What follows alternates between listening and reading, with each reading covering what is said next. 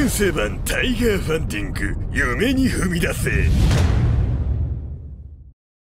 起業家としてのこうつながりを作るために行きたいっていうのもあるってことですね。はいなるほど。さっき控室で同じこと言ったんですけどね。株式会社モノレスジャパン代表岩井義明令和の虎チャンネル主催として日本屈指のビジネス系 YouTube チャンネルを育て上げる志願者の思いや人柄にベットするそのスタイルはまさに永遠の応援団長志願者や虎時に視聴者にまでも縦横無尽に放たれる魂の一括に今宵誰が打ち抜かれるのかさっき控室で同じこと言ったんですけどね。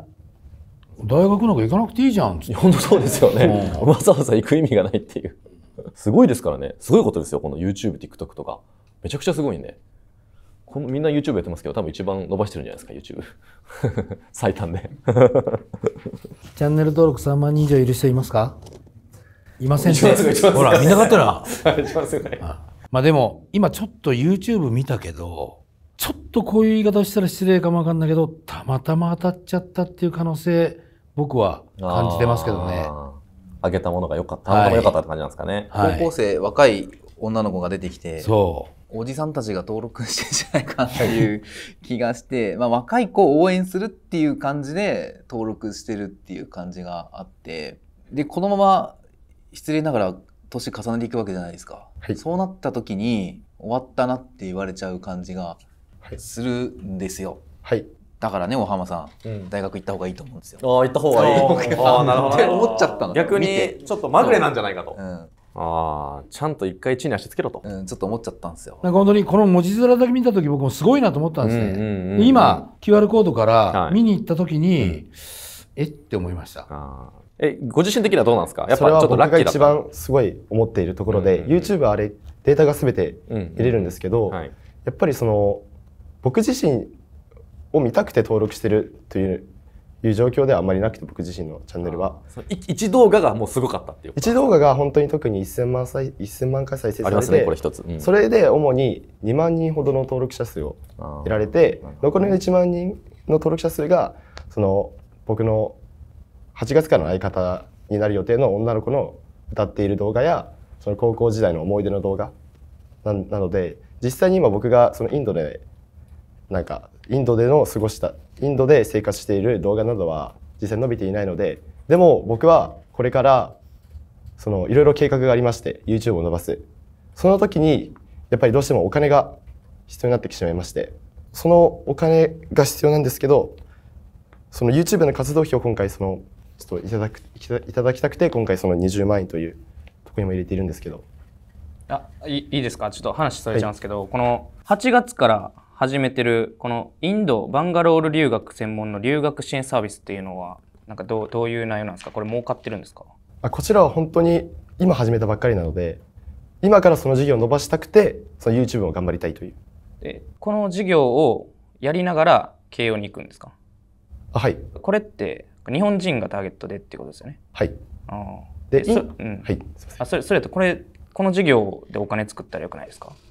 伸ばして、そのまずお金を作るためにはやっぱりお金が必要だなってすごいいやそれはそんななことは思わないんですけどこの事業にお金を使っちゃったってことですか？自分で例えば今まで稼いできた貯金とかを。あそうです。カメラやパソコン代などでだいぶ使ってしまいまして。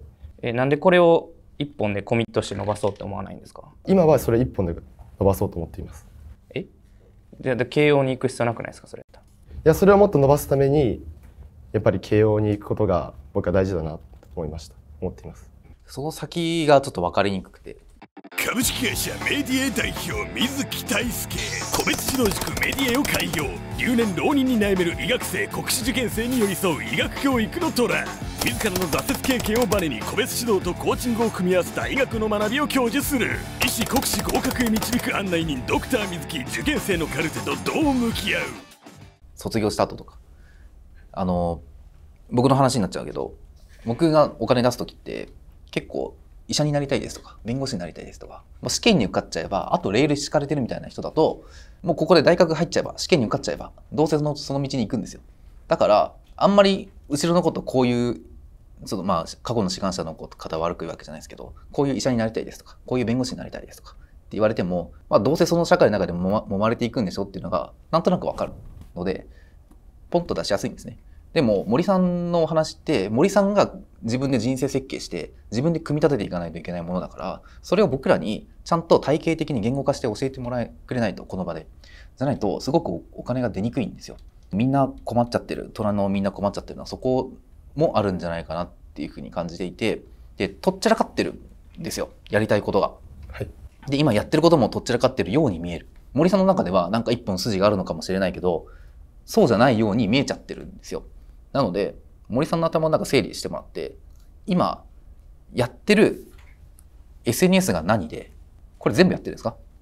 はい。でそうすると SNS やってるのはこの事業を酒井先生が言うようにこの事業を伸ばすためで合ってますか？この事業を伸ばすために全部この SNS に集約されるんですか？はい。その事業を伸ばすために大学に行くし事業を伸ばすために SNS やるし事業を伸ばすためにお金が欲しはい。いで合ってます全部。はい。だとしたらこのコンビニの数と同じだけの境界って 何も関係なくないですか？それもやりたいことというか。そのもうちょ直近っていうかもう本当に森さんの人生のゴールみたいなもんですよね。あそう。それが最終的にはやりたいんですけど今自分にできることは何なんだろうって考えた時に今やってる授業が授業が大事だなちょっと今応援の意味でも30ぐらい積んどきますわ。はい。あの、ありがとうございます。うん、ちょっと一個に集約されるっていうことであれば分かりやすかったんでまだちょっとあの女の子に借金返す分は誰かが出してくれるかもしれないんでちょっとそれそれは僕出せないです。そう。女の子に借金返す分の15万はちょっと小浜さんに頼むんで。女の子。この女の子は彼女なんですか？いや僕が好きなだけです おめっちゃ、なんかいいっすね。それやったら自分で稼いで返した方がいいですよ人人に借りた金で返すんですか？すごいいいっすね。青春ですね。すごいでも本当に YouTube をこれから伸ばすっていう自信はすごいあってその女の子と2人で僕はすごいその女の子アーティストとしても活動してるんですけどその女の子の才能にすごい僕は惚れ込んでいましてその女の子は簡単に言うと0から1を持っていて僕はその1を10にする力を持っていると思って僕とその女の子2人でやれば今は3万人ですけど10万人20万人100万人200万人大きな誰もが知るような発信力をつけられる人になると思っていましてもしそうなれば今やってる授業や自分が将来やりたいことその夢夢の達成にすごいやりやすくなるなと思って今はとりあえずその簡単に言うと YouTube を伸ばしたいのが一番その目標です。その1から10の力があるっておっしゃってたと思うんですけど、なんか具体的にどういうところでそう思うんですか？はい。まあ、その高校時代に、その、約5ヶ月間で TikTok を23万人伸ばしたり、その3ヶ月で3万人伸ばした。その時にある程度のその、こういう動画を出したら、こういうふうにバズるなとかいうノウハウが自分自身でも持っていまして、なので、その自信から、そうですね、こ今年中に10万人僕は行くと思っています。じゃあそのさっきのまぐれで行っちゃったんじゃないかみたいなあの岩井さんとかおっしゃってましたけどそれに対する反論としてはそうじゃねえってことですかねはい。僕自身はそれは狙ってバズりを出したというなるほどことがあります。TikTok とかもそうってことですねでもその、女の子と一緒にっていうのが危うくないですか？大丈夫ですか？一番危ういよね、こういうの。なんかあったらどうぞ。いや、まあ、特にね、なんか言うこともないですけど、まあ僕としてはちょっとビジネス舐めてんなっていうのが、と思ってますね。ちょっと甘いっすよね、考え方がね。それこそ、女の子と一緒いるんですか？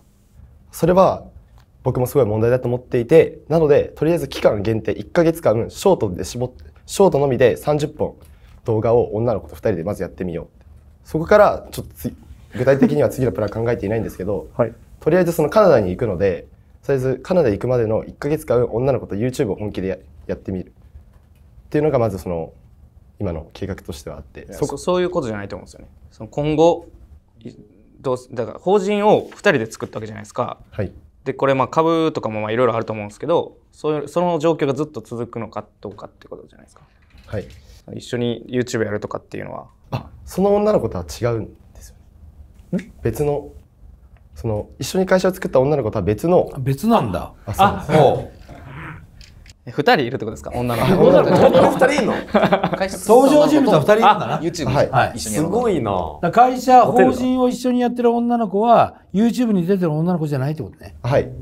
その女の子が、まあ、結構その事業的にはその主体というか、まあ、僕ももちろんそうなんですけどその女の子がお客様対応というか僕が広報担当でその事業を伸ばしていく役目で。えその01のを持ってるっていう女の子はどどっちのを知ったんですかあ01の女の子はその YouTube を一緒にやる女の子で全くその事業とは関係ない。関係ないんだ。はい。でこのねねっていう子ですかね？はい。TikTok のアカウントが多分 QR コードにあるえじゃあその法人を一緒に作った女の子はどういう関係なんですか？ななんで一緒に作ったんですか？その女の子とはまずそのぼ僕が行ってる学校の先生がその日本人を入れるためのエージェント会社に登録を持っていなくて日本人を持っていてたいからお前らでそのやってくれと言われてその事業をで僕たちも簡単に説明した方がいいよ。あはいすいません。君とその彼女との関係性は何？スパンと答えてごらん。あはいビジネスパートナーです。もともとどういう関係ですか？っていうこともともとはもともとはクラスの同級生です。なんでその子と一緒に作ろうと思ったんですか？そのことをやればその事業がうまくいくと思ったからです。で多分今聞かさっき聞かれてたのはその女の子とずっと同ず今と今と同じ関係値で進んでいけるのかどうかみたいなリスクがあるじゃないですか、はい。例えば仲違いしてとかよはく共同経営とかあると思うんですけど、はい。で今のところ回答になってないですよね。あそう。いうことですね。なんでどう考えてるんですかっていうことです。それに関しては本当と本当そうエビデンスとかあるわけじゃないんですけど大丈夫ですとしか言えないんですけどそうですね。そこら辺は本当に僕自身もちょっと申し訳ないんですけどその大丈夫なんですかって聞かれた時にその大丈夫ですとはまあ気持ちとしては言いたいんです始めるけどときはみんなやっぱそうですよ。なんか仲違いするって思って始めないんで、僕ももう結構何人もの人に裏切られたっていうのはあったんで、まあおそらく他の虎の皆さんももしかしたらそういうことがあったかもしれないし、見てきたかもしれないから、そういうふうに聞いてるわけで、まあ、どうするんですかっていうのは、そういうことちゃんと考えてるんですかっていうことでもあるんですよね。はいまあこればっかりは僕も分かんないんじゃないかなっていうふうにしかまあ言えないとは思うんで、ちゃんと考えといてくださいと思います。はい。あの YouTube 一緒にやる子は、まあ、有名な方でも一緒にやってたカップル YouTuber がなんか別の YouTuber と結婚してでも覆面でやってて1000万人登録みたいな。なんかあったじゃないですか。はい。そういう風になれる可能性はあると思うんで。はい。っていうことですよね。様々な意見が飛び交う終盤戦。虎たちの猛攻に苦戦を強いられる。迎える最終局面虎たちの答えは？えーではですね、最後もう一声いただきましょうか。森さん、えーラストステートメントです。はい僕は絶対自分のやりたい僕は僕は絶対将来自分の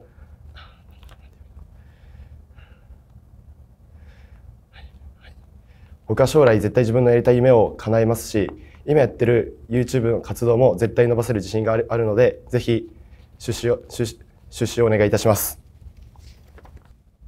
はい、ありがとうございました。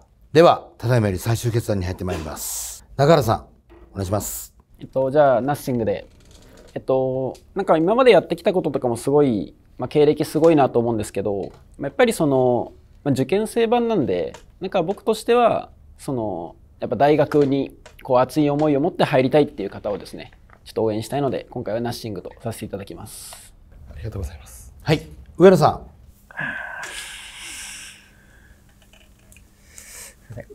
ギリギリこれです。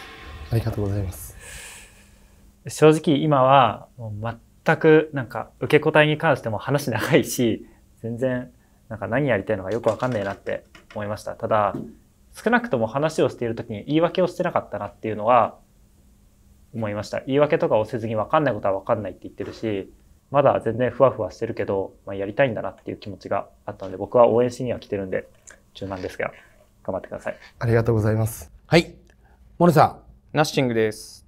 えっと、理由は、まあ、終始何がしたいかわからなかったっていうのと、あとは、まあ、その資料のもろもろのミスですね。なんか、費用のところとか、絶対間違えたらダメだと思うし、あとこのタイトルのところも、結局、教会って、なんなななんかね、教会を作るためにっていう、ためにを使っちゃってるんで、なんかこういうところとかも、なんか全然繋がってないので、こういうところが甘いなと思って、事業にお金を出すにしても無理でした。はい、以上です。はい、大浜さん。はい。すいません、ナッシングでお願いします。あの、まあ、さっき話したんですけど、すごくインフルエンサーとしての才能があると思いますし、大学行かなくていいんじゃないかなっていうふうに思ってしまったので、あの普通に目の前の授業を頑張ってお金を作ってそのまま伸ばしていくでもいいですし、そのお金を使って行きたかったら大学に行くっていうのが一番森さんにとっていいんじゃないかなと思いました。はい、以上です。はい。えー現在ですね、40万まで積まれてます。最後、水木さんお願いします。はい。僕は、詰めてあと20の50です。これは予備校代みたいな感じのつもりです。あの、僕は大浜さんと違って大学行った方がいいんじゃないかなと思います。あの、何かわからないものをつかみに行くっていうのは、まあ若い頃はそういうもんかなとも思うし、実際、インドにはそういうつもりじゃないにせよ何か掴んだわけですよね。で、大学にもおそらくそういうことってあるとは思うんですよ。だから、受験費用のつもりで僕は50っていうことで、すいません。事業に関してはちょっと不安なところもあるので、そこに関してはちょっとそういう意味では出せないっていうことで、これでお願いいたします。ありがとうございます。はい。ということで、えー森さんの希望金額は100万円でしたが、残念ながら60万円までしか積み上がりませんでしたので、今回はランシングです。はい。お疲れ様でした。ありがとうございました。はい。えー森さん、残念でした。今日の感想いただきましょうか、一言。まだまだ出演する前は自分自身で出来上がってちゃんと自分自身で自分自身で考えてこれがあちゃんとできているものだと思っていたんですけどやはりいざこうやって出てみるとまだまだ自分に足りないものがあると分かって分かったのでこれを機にもっと自分がやりたいことをちゃんと固めて考えて将来成功する成功できるように頑張ります。ありがとうございました。はい、お疲れ様でした。えー、ナッシングだったんで僕からも一言ですね。あの、最初君が、あの、控室の時にね、この君の情報を見て、すごい子来たなと思ったんですよね。で、いざ話し始めたら、カミカミで何か、何もうまく言えなくなって、でも今僕が思ってるのは、あ、そんだけの能力しかなかったんだな、この子には、というふうに正直に思っています。はい。今の君が仮に栄養入試で慶応に入ったとて、同じレベルの人たちと同じ会話をすることが多分できないよ。相手のことも考えた方がよくない？自分はレベルの高い人たちと交わることで高めたいっていうかもわかんないけど、こっちにしてみれば多いって世界も実はある。はい。まだ君はそこまで行ってない。僕はすごくそれを今日感じたので、なんかさ、SFC に行く前にもっと君がやることが5万とあるような気がして、僕はならなかったです。はい。まあ、あの、じじいのざれ言だと思って聞いてください。お疲れ様でした。ありがとうございます。慶応義塾大学 SFC への入学を目指す志願者軍資金獲得をかけた戦いは残念ながらナッシングで終幕決定打を打ち込めず厳しい戦いを強いられたこの挑戦を糧にして志願者は新たなスタートを切るその背中を見送りタイガーパンティングは次なる志願者を待つ。受験生版タイガーファンディング志願者募集中。交通費支給もあるよ。詳しくは概要欄から。